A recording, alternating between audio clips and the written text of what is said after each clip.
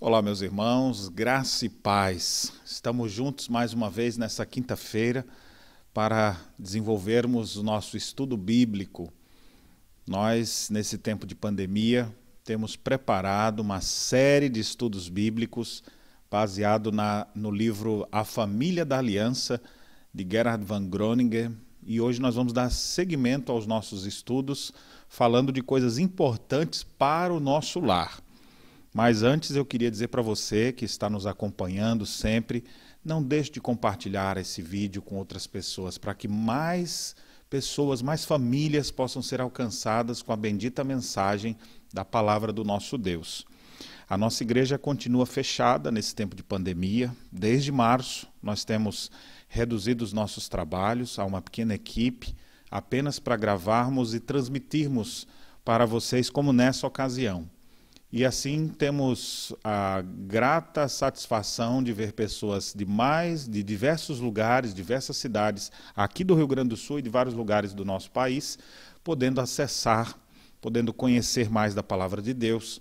Você que está nos acompanhando, que não é membro aqui da igreja, mas que está sempre nos acompanhando, Deus seja louvado pela sua vida. Saiba que nós estamos orando por você. Em nossas reuniões temos comentado isso. Vamos orar para que na época da pandemia a igreja do Senhor Jesus cresça, avance ainda mais. Nós estamos orando por sua vida. Existem algumas plataformas que nós podemos inclusive nos conhecer mais de perto. Você que tem nos acompanhado poderá participar. Nossa programação está sendo mais ou menos assim. Todas as quartas-feiras, na parte da, da tarde, às 15 horas, nós temos um estudo especial para mulheres. É dirigido pela minha esposa e ela tem ensinado princípios, valores, é uma conversa de mulher para mulher. Então, você que é mulher e deseja aprender mais, não deixe de estar conosco todas as quartas-feiras às 15 horas. À noite, tanto na terça quanto na quarta, nós fazemos reuniões em pequenos grupos pela plataforma Zoom de videoconferência. Assim você pode interagir, se você tem pedidos de oração, você poderá falar. A gente tem um momento de oração, de estudo bíblico. São vários grupos espalhados aqui pela, pela cidade de Canoas e, e nas cidades vizinhas. Você é nosso convidado a participar. Será muito bom poder conhecer você num desses nossos encontros. Os homens da nossa igreja têm feito encontros virtuais todos os sábados às 9 horas. Atualmente estamos estudando o livro O Homem Bíblico, onde vários servos de Deus têm trazido importantes estudos para que os homens possam redescobrir a verdadeira masculinidade. Além disso, os nossos jovens e adolescentes têm suas reuniões periódicas. Eles se reúnem também através de plataformas de videoconferência para um tempo de oração, também de conversa, de brincadeira, um tempo de edificação na palavra do Senhor. Inclusive, nesse próximo sábado, que é o primeiro sábado do mês. Nós vamos ter um encontro às 19 horas. Se você quiser participar, não deixe de contactar conosco dizendo: Olha, eu sou jovem ou eu sou adolescente, não sou da igreja, mas eu gostaria de participar. E se você é da igreja, mais uma vez, esteja conosco, convide outras pessoas, vamos estar juntos. Eu estarei trazendo uma palavra para os jovens neste sábado, às 19 horas. Nesse sábado, nós temos mais uma grande novidade que, com a graça de Deus, conseguimos alcançar. Nós vamos iniciar o nosso programa de rádio, isso mesmo. Na mesma rádio que nós tínhamos há cerca de cinco anos atrás. Nós tínhamos todos os sábados 30 minutos na Rádio 90.3, que é uma das rádios de maior abrangência aqui na região metropolitana de Porto Alegre. Ela tem um raio de mais de 100 quilômetros. E nós vamos ter então nos sábados, às 14 horas, nós vamos reiniciar os nossos programas lá. Que bênção de Deus. Tivemos que suspender o nosso trabalho na rádio por questões financeiras mesmo. Estávamos fazendo reforma da igreja, construção de templo e tivemos que economizar bastante e cortamos o nosso programa de rádio ali. Mas a gente sabe o quanto é importante também trans, transmitir a palavra de Deus pelas mais diversas mídias, como estamos fazendo aqui pela plataforma da internet também pelas ondas do rádio.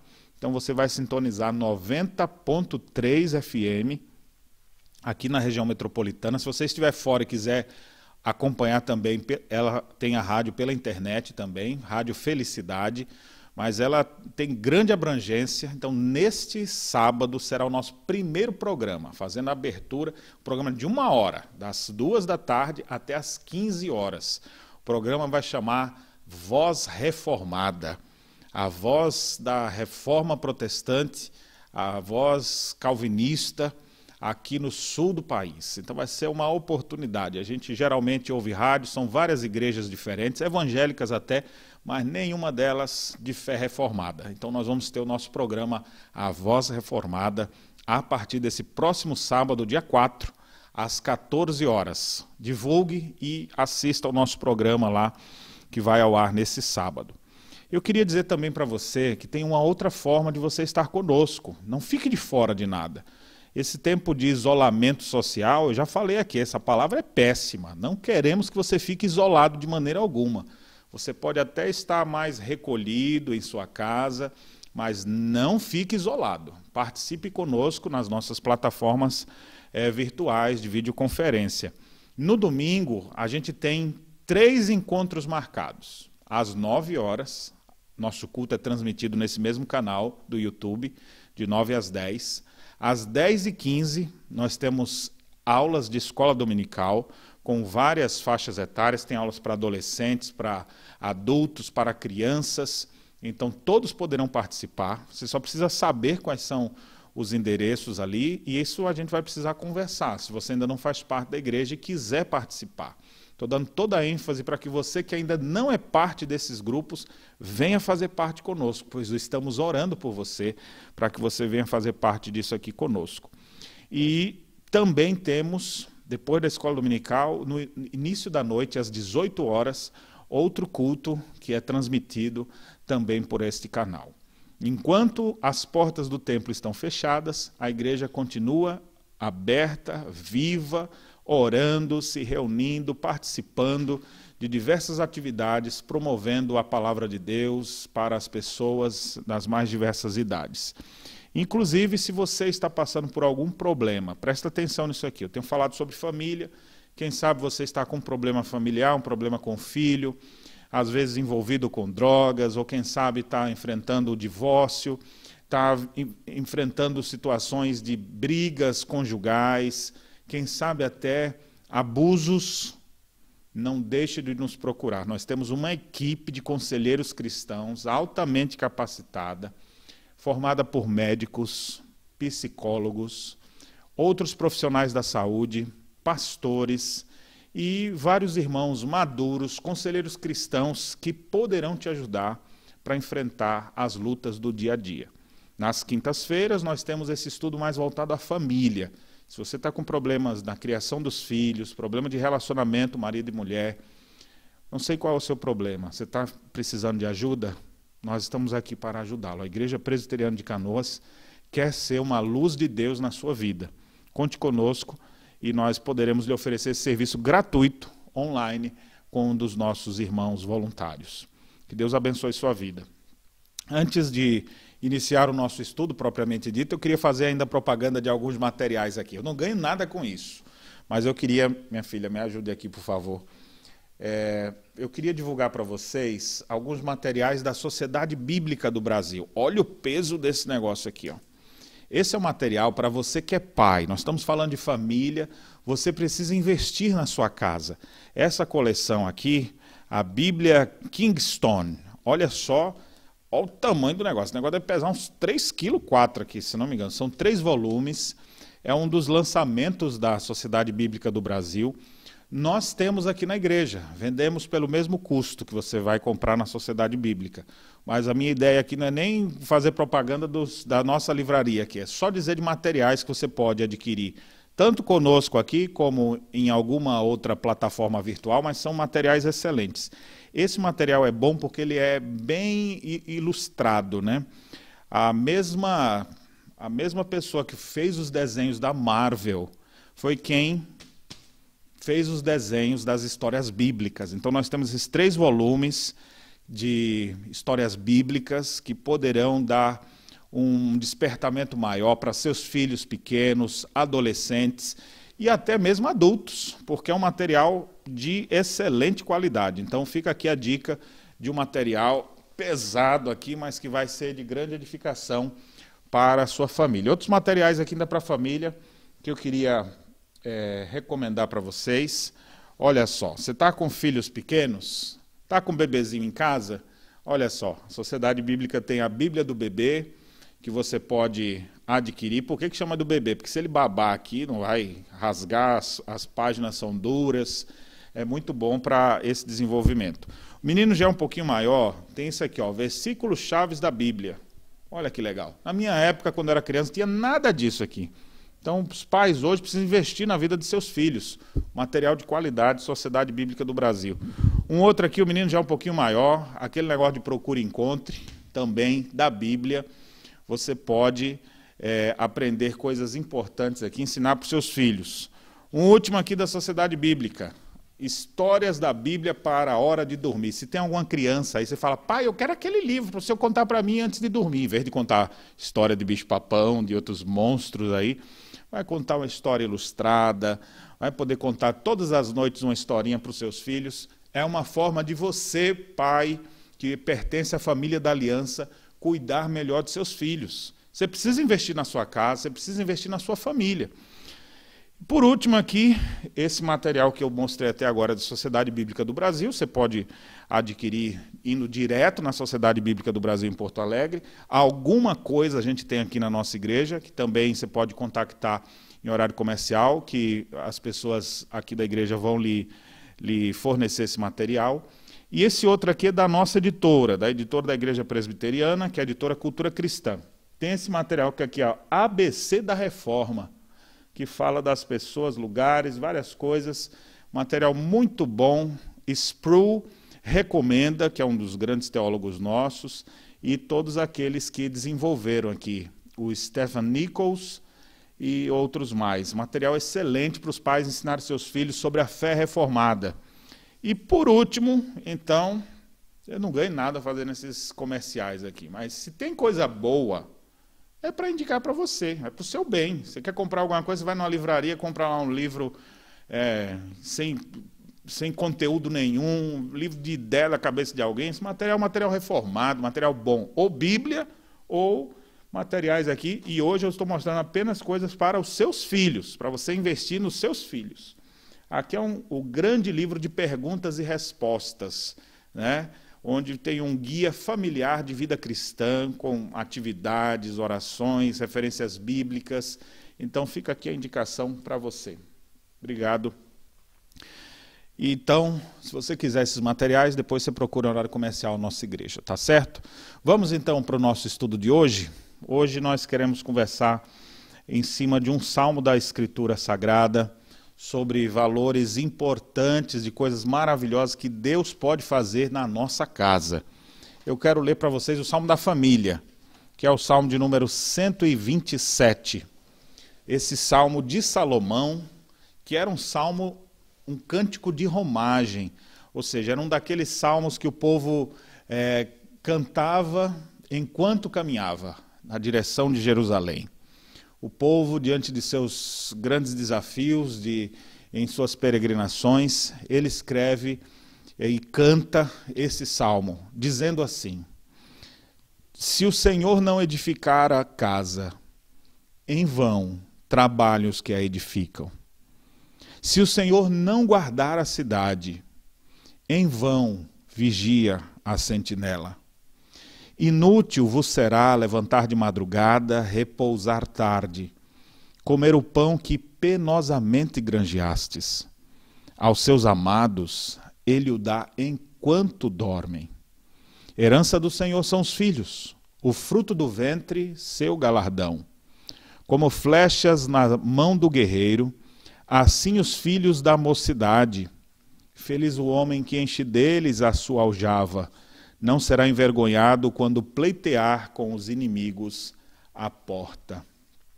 Amém. Vamos fazer uma oração? Vamos orar pedindo a Deus que traga entendimento sobre essa passagem e aplicações para o nosso coração do que, que Deus pode fazer na nossa casa, baseado nesse sábio salmo de Salomão. Vamos orar. Senhor nosso Deus e Pai, quero te agradecer por todos que estão nos acompanhando nesse momento tanto agora, nesse, nesse horário das oito da noite, como em outro dia qualquer que essa pessoa esteja vendo esse vídeo, que traga ao Senhor edificação para o seu coração.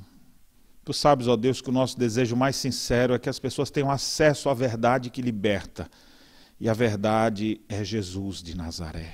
O Senhor pode transformar nossa vida, o Senhor pode converter a nossa casa, salvar nossos filhos, nossos cônjuges, nossos pais. O Senhor deseja abençoar o nosso lar. Disso nós temos certeza, pois o Senhor também trouxe salvação a muitas casas enquanto o Senhor andou por essa terra e até hoje o Senhor continua transformando a vida de muitas famílias. Nesse momento que vamos estudar a tua palavra, pedimos que o teu Santo Espírito, que inspirou o texto sagrado, aplique as verdades bíblicas ao mais profundo do nosso coração, para que nós coloquemos em prática, em obediência a Ti e vivamos para a Tua glória. Abençoe-nos, ó Deus, dirija-nos, ó Deus, e nos abençoe nesta hora. É a nossa petição em nome de Jesus. Amém. Amém. Muito bem, meus irmãos. Vamos pensar um pouco aqui sobre o livro dos Salmos.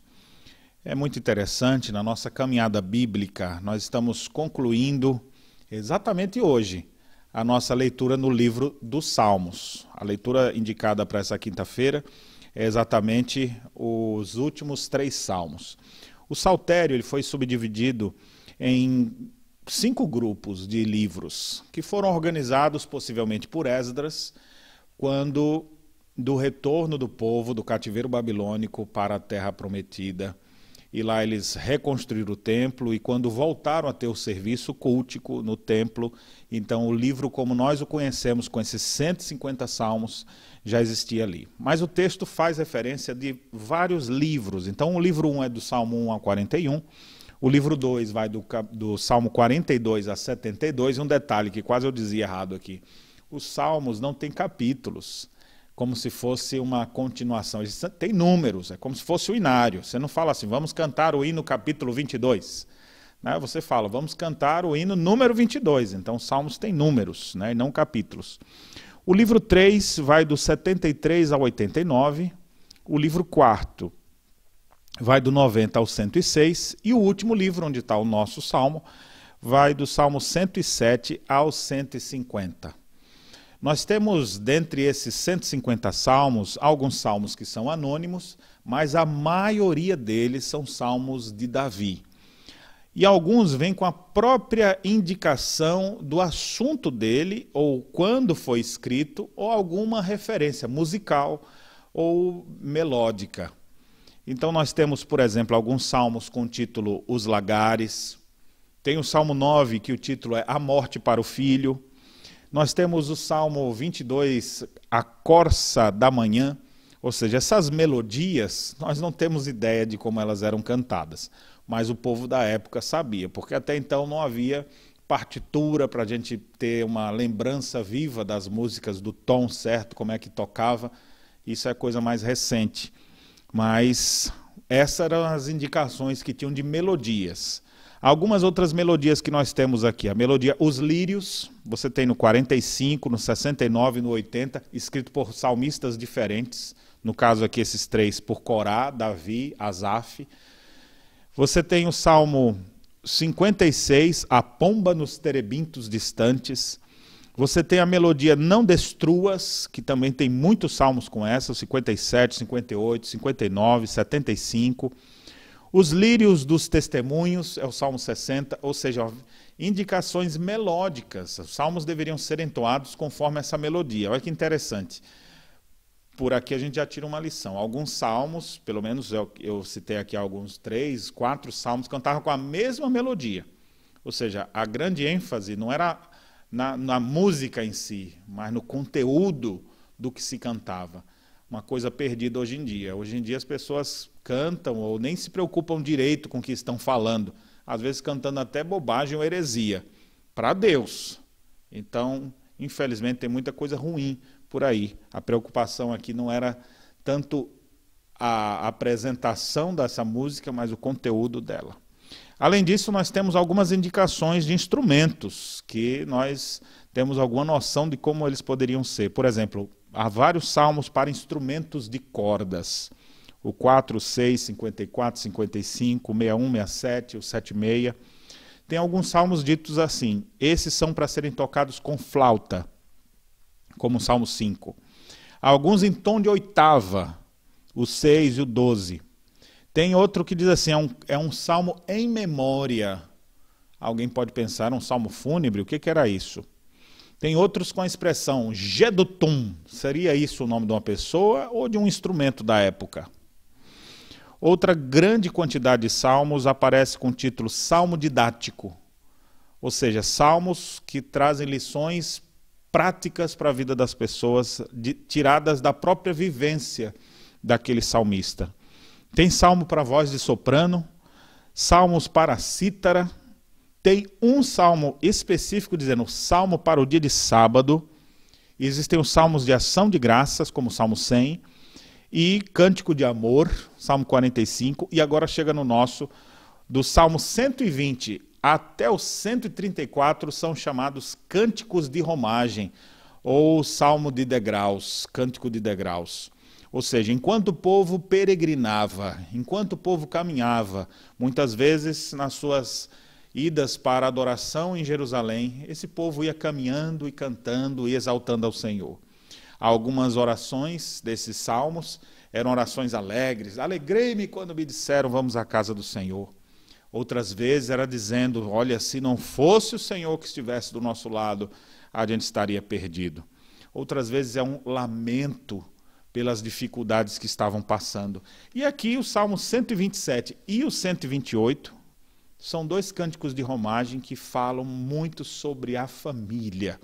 E eu quero me deter nesse 127. É um salmo de Salomão. Salomão foi um homem que a gente não pode olhar para a vida dele, para a família dele e dizer assim, ó, é exemplar sem nenhum pecado. Porque Salomão até mesmo se desviou dos caminhos de Deus. Depois, quando está mais velho, ele retorna arrependido porque acabou como rei, tomando para si muitas mulheres, e essas mulheres perverteram seu coração. Então a Bíblia não esconde o pecado de ninguém. Como assim também as nossas famílias. Nem todas as famílias, podemos dizer, são famílias irrepreensíveis. Às vezes você tem um irmão aqui com uma família, um irmão com outra. Às vezes tem um pai que tem. Você tem três irmãos, só do mesmo pai, mas cada um com a mãe diferente. Então essas coisas existem, não deveria ser assim. Mas essas coisas existem. Quem sabe você foi criado sem pai, às vezes sem mãe, foi criado por um avô. Às vezes eu estou falando com alguém que foi até adotado, porque seus pais não quiseram lhe criar. Então essas realidades todas são próprias do mundo de pecado, onde a dureza do coração causa muitos problemas. Para os adolescentes, eu lembro, às vezes você não está nem pensando em família, mas alguns vão brincar. Brincar de coisa séria. Começa com namoro, daqui a pouco engravida, vem uma criança, uma mocinha de 14 anos, 13 anos. Quantos e quantos números nós não temos disso? E aí aquela família que poderia ser programada, planejada, ela foi antecipada agora, tirada do forno antes da hora e isso certamente vai trazer prejuízos para a mãe, isso vai trazer prejuízos para essa criança. Mas nesse mundo onde as famílias sofrem tantos abalos, nós temos instruções da palavra de Deus para trazer esperança para o lar. Então, se você vive hoje uma realidade onde é, a sua vida familiar é algo que lhe causa tristeza, dor, não é nenhuma coisa desejável, pela forma como tudo foi construído ao seu redor, não foi aquele negocinho bonitinho. Meu pai, minha mãe começaram a namorar, casaram direitinho. Depois de alguns anos tiveram meu irmão, depois eu, e nós vivemos em paz. Esse é o melhor quadro. Se você vem de uma família assim, você tem que levantar as mãos para o céu e dizer glória a Deus, Senhor, pela família que eu tenho. Às vezes, nem são gratos os que, os que cresceram dentro de uma família estruturada. Você não tem ideia do que é uma família desestruturada onde às vezes o, o filho foi rejeitado, onde às vezes o pai não, tem, não dá nem a, uma atenção para os filhos, onde muitas vezes não tem condição nenhuma de sobreviver, vivem, vivem vegetando nessa terra. São tantas famílias desestruturadas, abusos sexuais que às vezes acontecem dentro da própria casa, coisas terríveis que famílias enfrentam. Isso tudo fruto do pecado. Nesse cenário nefasto que a gente vive, que a gente acompanha, toda vez que a gente fala de família, nós trabalhamos o conceito do que é uma família ideal, mas também a gente sabe o que, que é o real, o que, que existe aí. Eu lido com famílias na igreja, no quartel, por onde eu passo, eu vejo a necessidade. Eu comecei a estudar mais sobre família, não foi para dar palestra para ninguém, não. Eu comecei a estudar de família para eu viver bem com a minha esposa, para nós termos um relacionamento abençoado, para que os nossos filhos crescessem no ambiente pactual, em que eles pudessem ter toda a estrutura para serem fortes, vigorosos, tementes a Deus. Então, nem, nem todos tiveram esse, esse, privilégio. Eu vejo os meus filhos como muito privilegiados, mas eu não sei se eles conseguem enxergar em toda a sua dimensão o tamanho dessa bênção. Mas eu sei o que eu vejo de pessoas que me procuram aqui e ali para um aconselhamento, contando as suas tragédias, as suas dificuldades. Vida em família é uma bênção é o, aquilo que mais parece com o céu na face da terra, quando está tudo em harmonia. Agora, quando não está em harmonia, meu amigo, é o que mais parece o inferno. Uma família desestruturada, um filho que entra para o caminho das drogas, desestrutura a família toda, os avós, a outra família, os tios, uma pessoa que se envolve com isso. Se você tem familiares envolvidos nas drogas, você sabe muito bem disso. Quando existe infidelidade no casamento, como isso desestrutura a família? Quando acontece uma morte prematura de um filho ou de um do progenitor, ou quem quer que seja, como é difícil lidar com essas coisas, ou seja, são vários cenários que pintam uma tragédia. O que fazer nessas horas? Bem, é exatamente para esses cenários nefastos que a luz de Deus veio brilhar. Cristo veio ao mundo para buscar e salvar o que estava perdido. Se a família está perdida, Cristo veio para salvar. O apóstolo Paulo pregou dizendo: crê no Senhor Jesus e será salvo tu e a tua casa. Antes de qualquer coisa que esse salmo nos ensina, eu quero lhe dar o ponto principal, nevrálgico de tudo aqui. Cristo pode operar na sua vida para você ter uma família melhor. Ele pode transformar a sua vida. Ele transformou a vida de Salomão, ele operou na família dele, desorganizado, desestruturado, mas sempre a graça de Deus nos alcança Agora, os soberbos não receberão a graça de Deus. A graça de Deus é dada aos humildes. Deus resiste aos soberbos, mas dá sua graça aos que se humilham, diz a palavra do Senhor. Então, nesse salmo, nós vamos aprender algumas coisas que Deus pode fazer por nós. O que, que Deus pode fazer pelo, pela minha família, pastor, diante de todas as desestruturas, as bagunças que a gente criou, fruto do pecado. O que, que eu posso fazer? Eu nem, nem queria ter nascido nessa família, mas foi a família que Deus te botou. O que, que Deus pode fazer contigo e com o teu lar e com as famílias que aqueles que ainda são solteiros poderão constituir, a família que teus filhos poderão ter. Devemos pensar nesse, nessa abrangência maior. Então, olha só o que o texto diz. Ele começa dizendo assim: Se o Senhor não edificar a casa, em vão trabalham os que a edificam. Olha que coisa maravilhosa. Deus pode edificar a tua casa. Deus pode construir os teus relacionamentos. Ele pode sim te edificar. E se ele não edificar, vai ruir tudo. Mais cedo ou mais tarde, aquele sonho bonito, álbum de fotos, aquela noite de núpcias, aquele casamento que foi uma, uma festa que, que gastou, até hoje está pagando ainda quem sabe aquele momento tão mágico, aí já foi embora. Foi só aquele dia.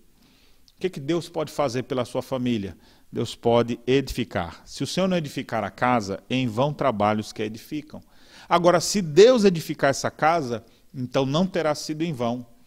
As famílias que querem ser edificadas por Deus vão ter que se submeter àquilo que prescreve a palavra de Deus.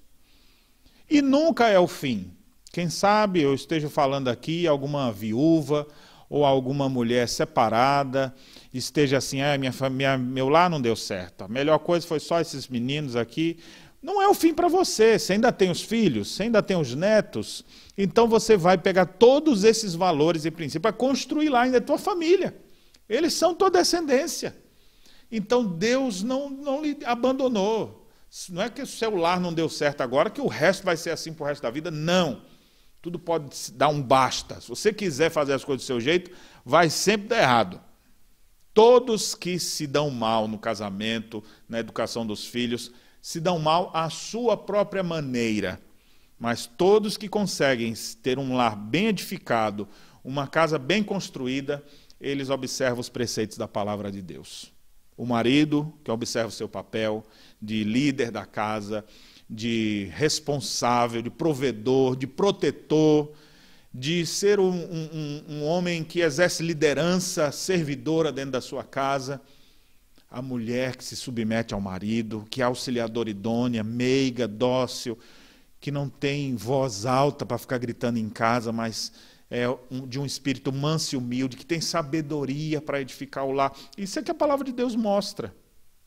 Eu fico descrevendo essas coisas, eu fico imaginando algumas pessoas, né? isso aqui, pastor, está longe daqui de casa, viu? Aqui não tem isso aqui não. Pois é. E vai dar onde? E deu aonde? Onde é que isso foi parar? Foi parar exatamente nessa ruína que está. Se você fizer do seu jeito, se Deus não edificar sua casa, vai ser tudo em vão. Não vai avançar nada. Agora, se Deus edificar a tua casa, ela permanecerá firme. E a gente edifica a casa ouvindo a voz de Deus e praticando a palavra de Deus, conforme consta nas Escrituras Sagradas. O próprio Senhor Jesus Cristo disse: Aquele que ouve as minhas palavras e as pratica, será comparado a um homem prudente, que edificou sua casa sobre a rocha. Vieram os ventos, transbordaram os rios e deram com ímpeto contra aquela casa que não caiu, porque estava firmada na rocha. Já a casa que foi edificada na areia, sopraram os ventos, transbordaram os rios e a casa caiu porque foi construída na areia. Uma coisa é certa: em todas as casas, em todas as famílias, em todas as pessoas, virão tempos difíceis, virão tempestades, transbordarão os rios. A grande pergunta é: quem vai aguentar as crises, as adversidades? Somente aqueles que estiverem edificados no Senhor. Se o Senhor edificar a casa, a sua casa subsistirá. Agora, se o Senhor não edificar a sua casa, vai ser tudo em vão. Em vão trabalham os que a edificam. Vai ser como alguém que preparou tanto, comprou coisa, gastou horas e horas trabalhando para depois a família se desfazer, ele ter que dividir esses bens aí, vender por qualquer, qualquer dinheiro ali, só para poder é, resolver as questões. Deus pode edificar um lar. Agora, esse edificar um lar não é simplesmente ir para a igreja tem muita gente que está indo para a igreja e a casa está arrebentada. Por quê? Porque eles não estão sendo edificados na palavra de Deus, estão vivendo princípios errados, não estão seguindo o que a palavra de Deus manda. A Bíblia diz para o marido ser fiel e o marido não está sendo fiel. A Bíblia diz para o marido ser um bom líder e ele, e ele fica lá paradão, não toma decisão nenhuma. A Bíblia diz para ele ser provedor, mas ele não provê nada. A Bíblia diz para ele ser protetor e as esposas e os filhos vivem à mercê dos outros. Como é que você vai querer uma casa dessa edificada? Agora, se eles se submeterem aos valores da palavra de Deus, você vai ver como vai ser diferente. Você é uma mulher que quer sua casa edificada, mas você não é submissa ao seu marido. Você vive concorrendo com ele. Você quer ver o seu lar sendo edificado, mas você não tem sabedoria na forma de falar. Você não age com. Você vai querer o quê, no final das contas? Nós precisamos de pessoas que se submetam ao ensino bíblico. Se isso acontecer, você pode ter certeza que a sua casa prevalecerá. Não será em vão toda a semeadura. Você pode até estar passando por um momento de crise. Fala, meu Deus, por que eu estou passando por isso na minha vida? Sempre procurei cumprir aquilo, sempre dependi do Senhor. Calma, o último capítulo da tua história tu ainda não sabe. Tu está vivendo agora um momento de tribulação e angústia, mas os próximos capítulos você não sabe. Estão escritos no livro de Deus. E só Ele sabe como vai ser. Mas confie, espere, se submeta, saiba que se Deus edificar a tua casa, tua casa vai prevalecer. Pode ter certeza disso. Uma outra verdade que o texto mostra: se o Senhor não guardar a cidade, em vão vigia a sentinela. Quem é que traz proteção para a nossa vida? Será que nossa casa é protegida porque tem cadeados, cerca elétrica, sistema de alarme com sensores em todos os lugares? O que é que nos traz segurança? Tem um guarda armado ali na esquina? Olha, se o Senhor não guardar a cidade, em vão vigia a sentinela. A nossa proteção está em Deus. É Deus quem nos protege. Então, olha só. Primeiro eu disse aqui que Deus pode edificar a tua casa. Agora eu estou te dizendo que Deus pode trazer segurança para teu lar. Segurança em todos os aspectos. Ele é aquele que não dormita nem, guarda, nem dorme. Observe como diz o Salmo 121. O Senhor é quem te guarda. O Senhor é a tua sombra à tua direita. O Senhor guardará a tua saída e a tua entrada é certo que não dormita nem dorme o guarda de Israel. Quem é esse que nos guarda? Seu nome é Jesus.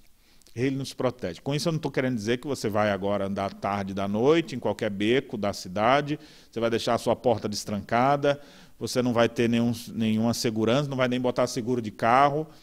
Eu não estou dizendo nada disso. Se utilize de tudo isso, mas não confie nisso. Confie em Deus. Faça tudo o que for necessário da sua segurança pessoal, mas não confie nisso. Se Deus não nos guardar, nós estaremos perdidos para sempre. Nós estamos agora na época da pandemia.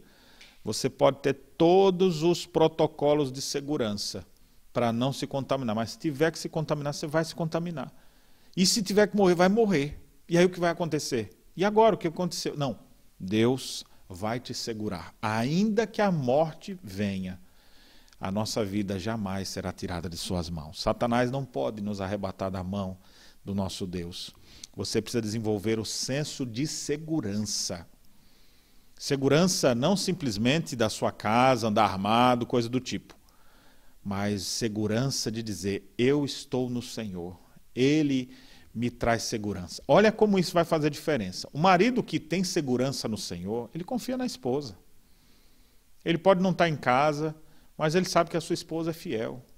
E se ela não for, ela vai prestar conta disso a Deus. Ele tem segurança. A mulher tem que ter senso de segurança. Ah, mas ele estava olhando para alguém. Aquelas mulheres que não deixam nem o marido olhar para um lado, assim, está olhando para onde? Aí você fala, você pergunta para ele assim: Você acha que você é, é muito abafado? A esposa já entra e fala: Não, ele não se sente. Então imagine tem que estar tá controlando. Deixa eu ver teu celular. Deixa eu ver o teu cheiro agora. Hum, de quem é esse cabelo que está aqui no, na blusa tua? Onde é que você está? Por que, que você chegou dois minutos atrasado? Então, essas coisas, olha, esses ciúmes, esses sentimentos, esses são destruidores. A sua segurança não pode estar em ver as coisas acontecendo assim. A sua segurança tem que estar em Cristo. Se seu marido lhe deixar, Cristo jamais lhe deixará. Se teu marido te trair, Jesus nunca te trairá. Tu tem que se segurar em Cristo e não no teu marido, ou na tua esposa, ou nos teus filhos, ou nos teus pais. A segurança nossa está em Jesus Cristo. Isso é um conceito muito pouco desenvolvido hoje em dia. As pessoas são seguras nas circunstâncias. As coisas estão bem, eu estou seguro. As coisas andam mal, eu começo a, a, a sentir mais o peso e a responsabilidade. Descanse em Deus, tenha segurança em Deus, porque se o Senhor não guardar a tua casa, em vão vigia a sentinela. Você pode botar um inspetor de segurança para ver o que está acontecendo com teus filhos. Não, eu vou. Olha, se você não entregar nas mãos de Deus e pedir que Deus guarde, você não vai conseguir fazer isso. Deus pode edificar a tua casa. Deus pode trazer segurança para a tua casa. O segredo tudo está no Senhor. É isso que a palavra de Deus nos mostra. Observe agora o que diz o verso seguinte, verso 2. Ele diz assim: Inútil vos será levantar de madrugada, repousar tarde, comer o pão que penosamente granjeastes. Aos seus amados ele o dá enquanto dormem. Para eu poder trazer a lição correta desse versículo, que é a lição de que Cristo sustenta a nossa vida, ele provê tudo que a gente precisa, eu necessito antes dizer algumas coisas. Não seja um marido preguiçoso, não seja um homem descansado, seja um homem trabalhador, seja um homem dedicado. E num trabalho que seja bom. Porque tem muito trabalho aí. Hoje em dia as pessoas não querem ter esforço nenhum, quando na verdade a Bíblia diz que do suor do teu rosto comerá o teu pão. Ou seja, você vai ter que ralar. Não necessariamente com isso eu estou querendo dizer que o seu trabalho vai ser braçal. Pode ser que sim ou pode ser que não, mas a ideia é trabalhe naquilo que é bom, naquilo que é justo, naquilo que é correto. Se dedique a isso, gaste sua energia nisso. Porque tem muita, pessoa, muita gente hoje preguiçosa, cansada, que faz uma besteirinha e já deixa. Deixa eu falar uma coisa para homens aqui. Que, na verdade, tem uns que eu acho que nem podia chamar de homem.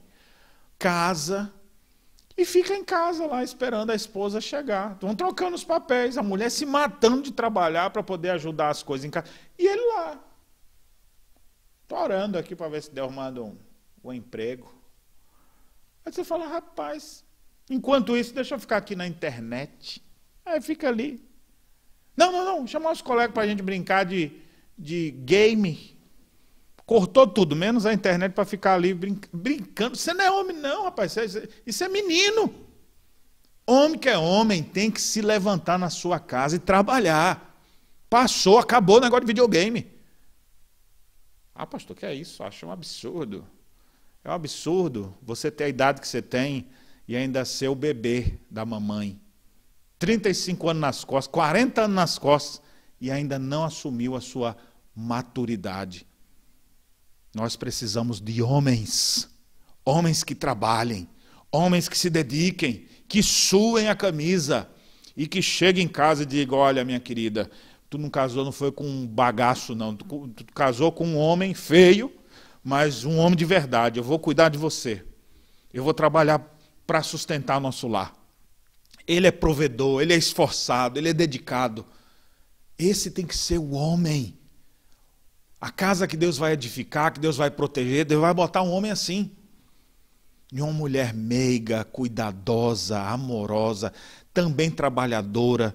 Observe, tem muitas mulheres que receberam o título de mulheres gastonas, que pega o cartão de crédito do marido e gasta tudo. Na minha vida prática e nos aconselhamentos que eu faço, na minha própria vida, eu tenho visto o contrário. Minha esposa é uma mulher econômica, mais do que eu. Eu vejo muitas esposas preocupadas com a casa, enquanto o marido lá está nem um pouco preocupado com isso. Então, deixa eu dizer uma coisa, antes de eu seguir o texto aqui, porque se eu disser só a lição, eu vou deixar esses homens mais descansados do que o que eles já estão. Ainda vão dizer que foi eu que ensinei. Então, antes de trazer a instrução desse texto, tem que fazer essa afirmativa bíblica de Gênesis 1 e 2, essa afirmativa de, de Efésios capítulo 4. Aquele que furtava, não furte mais, antes trabalhe com suas próprias mãos. Não é não é pedir para os outros fazerem e você só receber, não. Vai trabalhar. Vai suar. Se você é estudante, vai estudar. Vai e devore os livros. Vai aprender. Vai, vai ser alguém na vida. Não fica aí só de. Eu estou de boa aqui, ó, só. Não, isso não é homem, isso é menino. Homem que é homem vai se dedicar. E vai um dia ter coragem de dizer para a mulher e dizer: Olha, mulher, nós estamos passando por esse momento difícil. Não desiste de mim, não porque eu vou te mostrar quem realmente Deus me fez. Nós estamos passando por uma crise, estou desempregado, mas essa fase vai passar. E ele é o provedor do lar, ele é o cuidadoso da, da família. Se a esposa trabalha fora, fala, filha, isso aí ó, vai ser o nosso investimento, mas deixa aqui que eu vou, eu vou suprir, porque eu sou macho, eu sou o homem dessa casa. Eu entendi isso biblicamente. Deus botou uma responsabilidade, ele não botou a responsabilidade meio a meio para Adão e para Eva, não. A responsabilidade é Adão. Adão, onde é que você está? Responsabilidade da sua casa é você, homem, que tem que ter. E não jogar tudo nas costas das mulheres. Os homens hoje estão jogando tudo nas costas das mulheres. E elas têm que levar o fardo da casa, ainda o fardo desse miserável ainda, esse bebezão que ela tem que criar. Fora os outros que já tem. Pare com isso. Seja homem de verdade. Seja um homem trabalhador. Levante cedo. Acorde cedo. Vai trabalhar às 10 da manhã, rapaz. Que negócio é esse? Levanta cedo. Vai ver a alvorada, vai ver o espetáculo que Deus faz todos os dias e a maioria das pessoas não estão vendo o sol nascendo. Levanta cedo, às 5 da manhã, às 6 da manhã. Ah, levantei de madrugada hoje, pastor. Bah, 10 e meia eu já estava em pé. Eu falei, vai ter futuro. Vai dormir que horas? Duas, três da manhã, fazendo o quê? Divertindo-se na internet, vendo um monte de porcaria lá. Meu amigo, isso não vai ter futuro nenhum. Não é essa casa que Deus edifica. Deus edifica uma casa de acordo com os princípios e os valores que ele estabelece. Deus guarda essa casa quando as pessoas têm segurança no Senhor. E Deus supre essa casa. Mas não é para cada um ficar ali esperando cair do céu.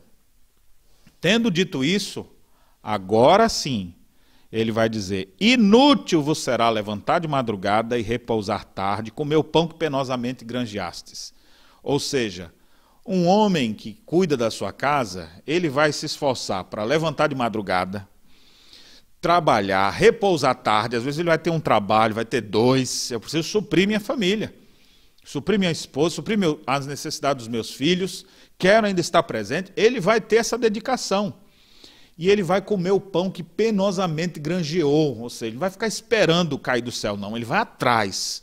Ele tem brio, ele tem hombridade, coisa que os homens de hoje parece que desaprenderam. A ter, a ter hombridade, a dizer, eu vou trabalhar para conseguir as coisas aqui. E não dizer, querida, vai trabalhar lá que eu te espero hoje à noite, amada. É, que isso, rapaz? Cafetão? Agora? Garoto de propaganda? Garoto de programa, melhor dizendo? Que é isso?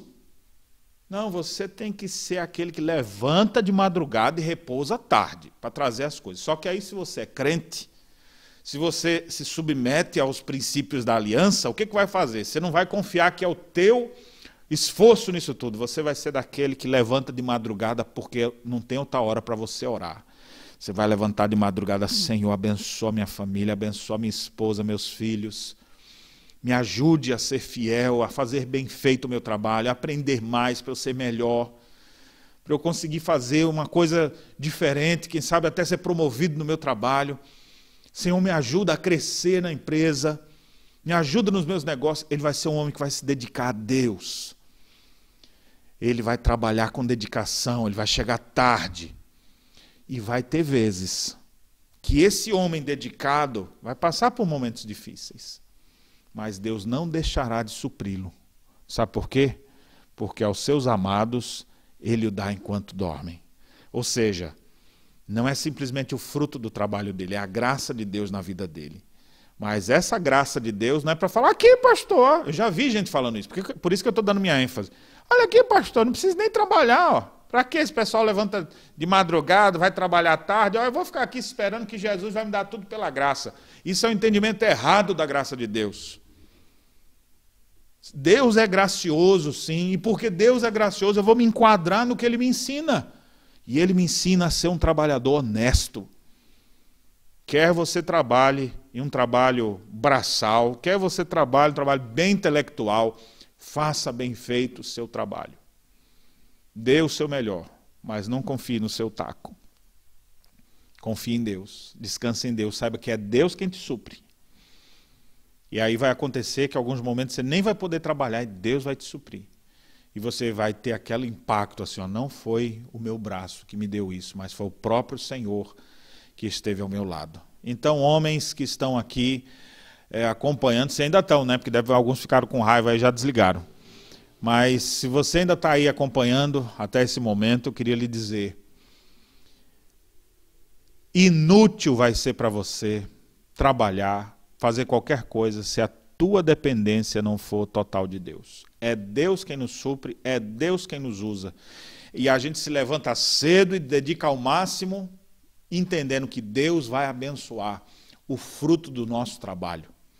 O homem bem-aventurado do Salmo 1 você já viu qual é a, a, a única condição bíblica apresentada nesse texto para ele ser bem-sucedido? Olha só. Bem-aventurado o homem que não anda no conselho dos ímpios, não se detém no caminho dos pecadores, nem se assenta na roda dos escarnecedores. Antes o seu prazer está na lei do Senhor. Na sua lei medita de dia e de noite. Ele é árvore plantada, ele é como árvore plantada junto às correntes de águas, que no devido tempo dá o seu fruto, e cuja folhagem não murcha. Presta atenção. E tudo quanto ele faz será bem sucedido. Ele não tem tempo para ficar ouvindo o conselho dos ímpios, ele não perde tempo no caminho dos pecadores, ele não fica desperdiçando seu tempo na roda dos escarnecedores. Ele tem prazer na palavra.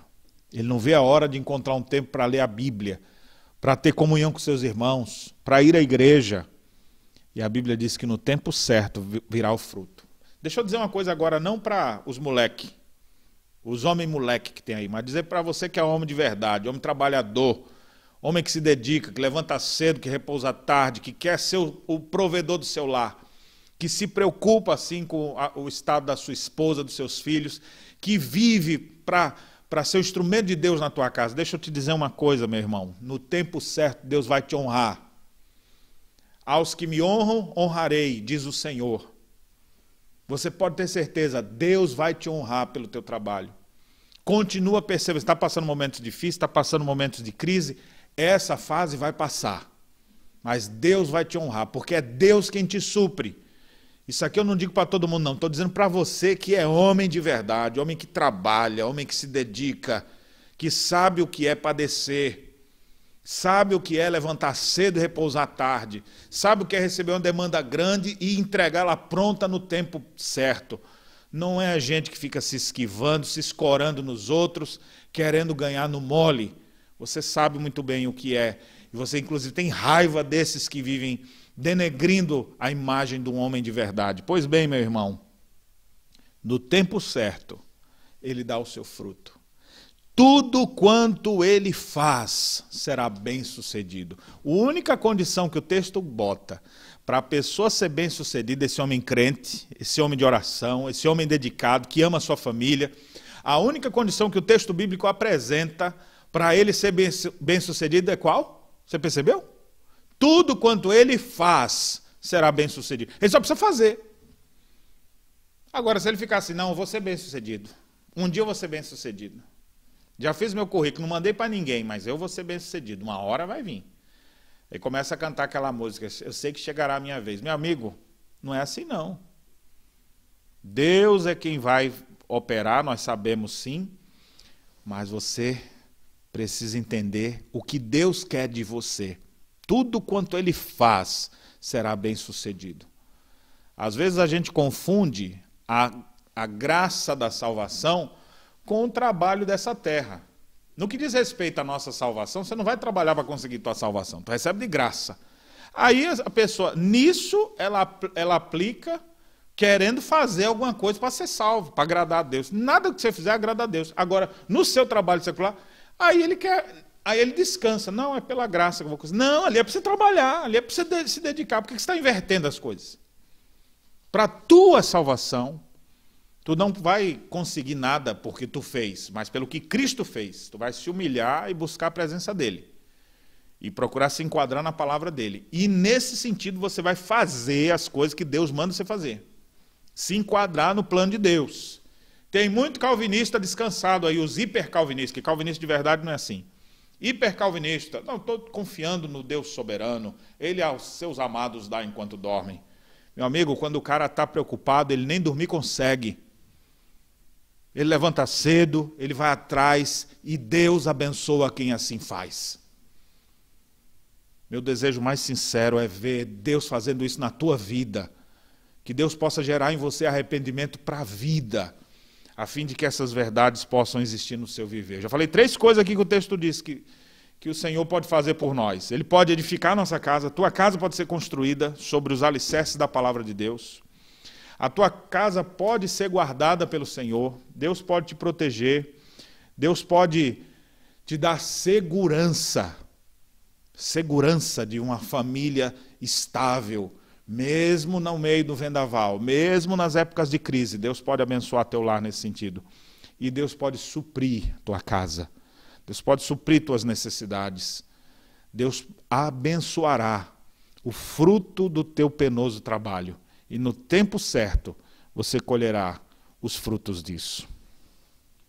A partir do verso 3 agora, nós temos uma referência à, à posteridade.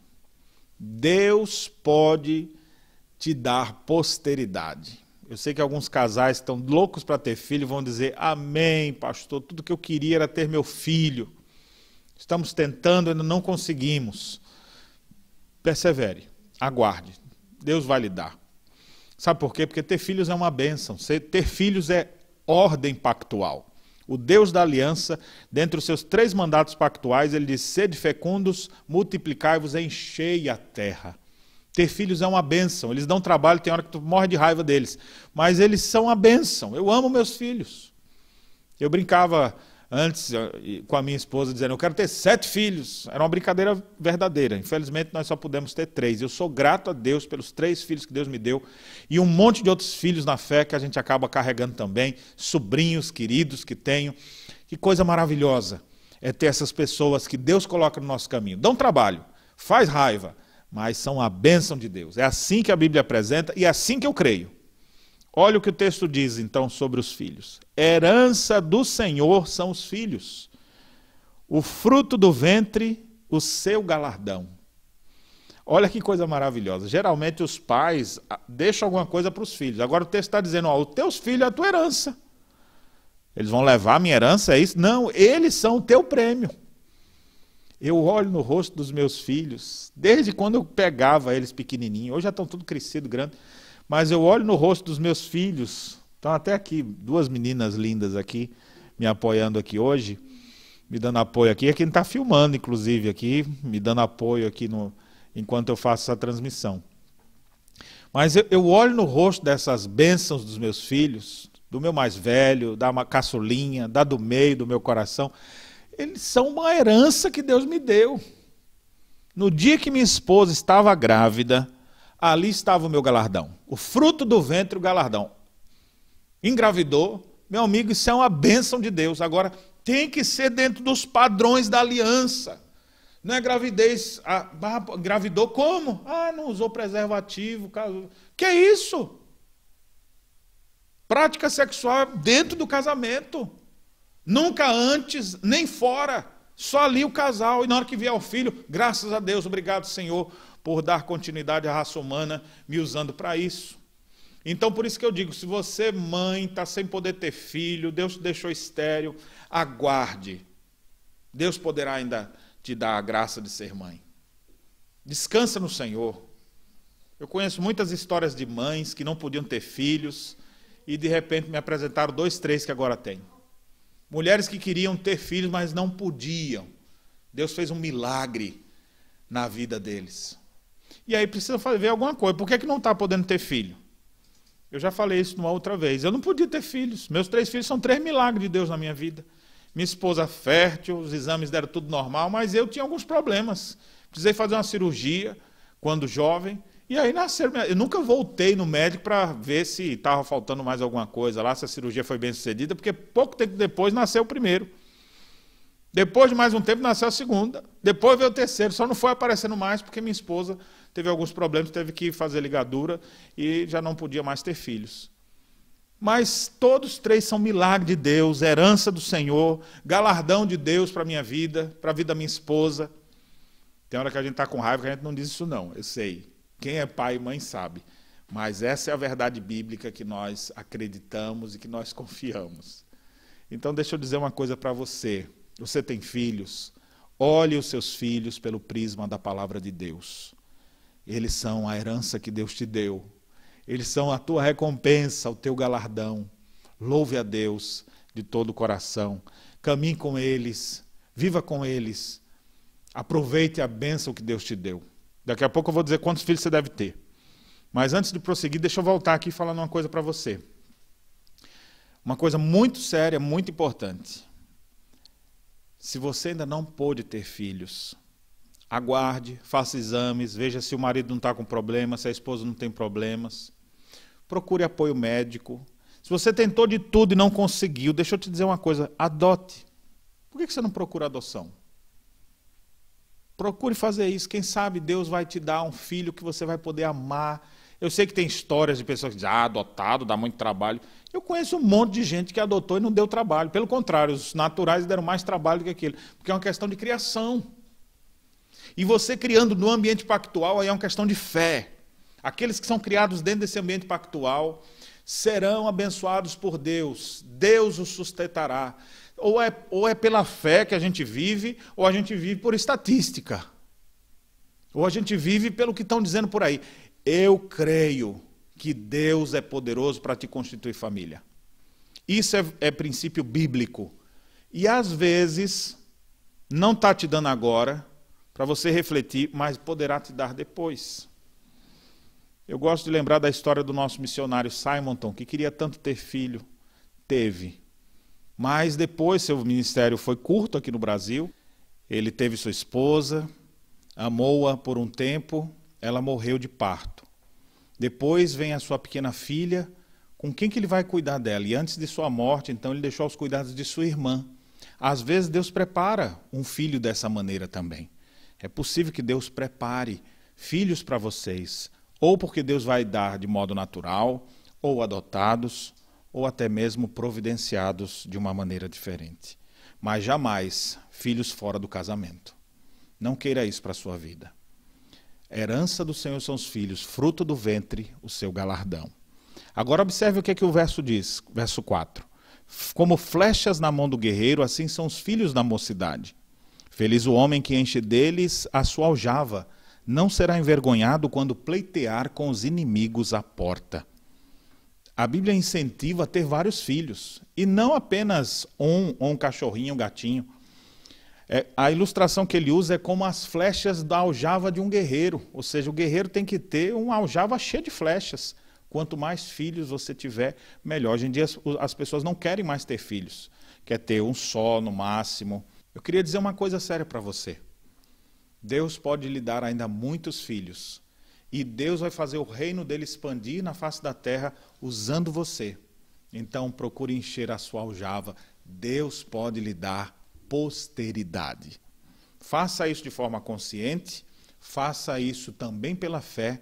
Veja todas as formas que você pode ter para ter uma família edificada na rocha, uma família em Cristo Jesus. Vamos suplicar o favor de Deus nesse momento? Pai bendito e amado, abençoe cada família que nos acompanha nessa hora.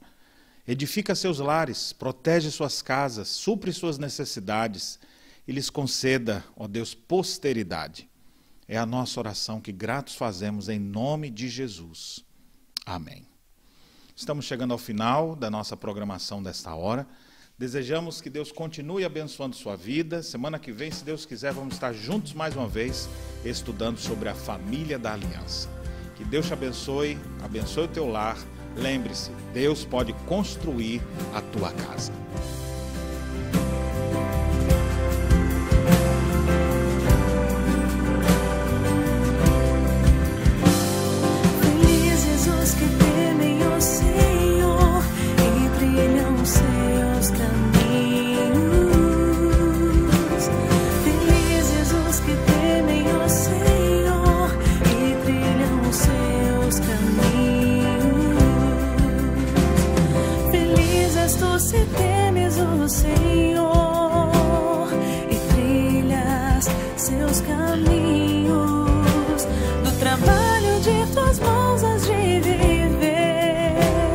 serás feliz.